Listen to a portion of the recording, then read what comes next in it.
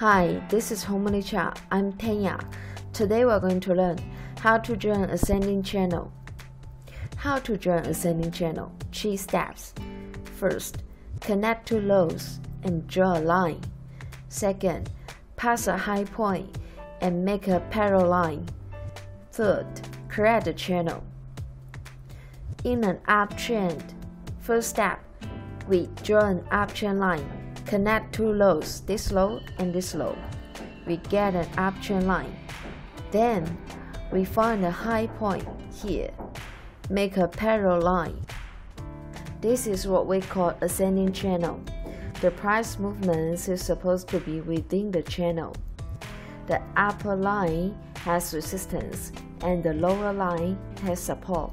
Once the price hit the upper line, then heat resistance will turn downwards, and once the price hit lower line, will get support, so the price will turn upwards.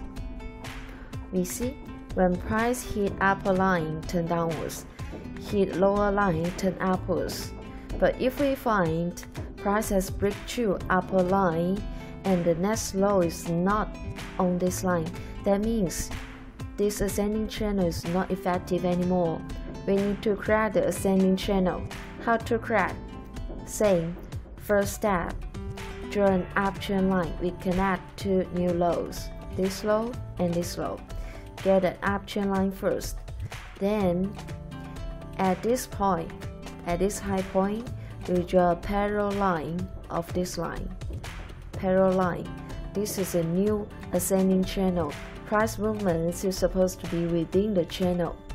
Hit the upper channel, turn downwards. Hit the lower channel, turn upwards. In an uptrend, first we need to draw an uptrend line. We connect two lows, get an uptrend line, then find the high point, for example, here. We draw a parallel line. Then this is what we call ascending channel. The price movement is supposed to be inside the channel. Once price hit upper line, turn downwards. Hit the lower line, turn upwards. But if we find the next low is not on this lower line, that means the ascending channel is not effective anymore. Then we need to crack the ascending channel. How to crack? First, an uptrend line. We connect two lows. An uptrend line then we find the high point here. We make a parallel line.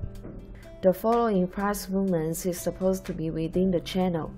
Once hit upper line, turn downwards. Today we learned how to join ascending channel. We must remember uptrend line first, parallel line next. That means we should connect the lows first, not connect the highs. Second, the upper and lower channel lines have resistance and support. The upper line has resistance and the lower line has support. And we need to remember to create the channel. If the current channel is not effective anymore, then we need to create the channel.